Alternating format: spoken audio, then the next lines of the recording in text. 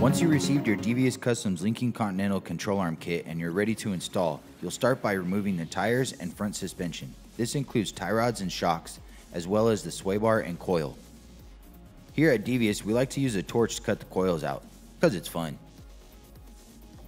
Remove the brake drum and the rest of the brake assembly.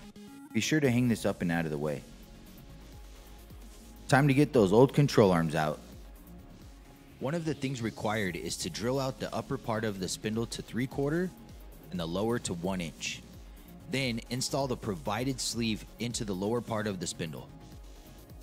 It's time to prep for the new suspension by cutting the brake line tab off. Once removed and out of the way, we can now cut the frame for the shock clearance. Time to install the new upper arm and weld on the brake bracket.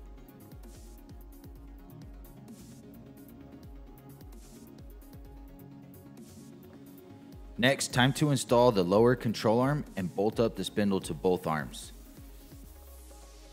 Now reassemble the brake assembly. To wrap up the control arm installation, we are going to bolt on the new front mounts.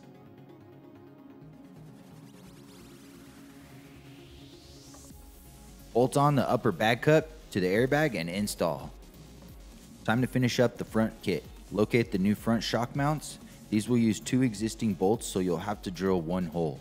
Once bolted up, install the shock.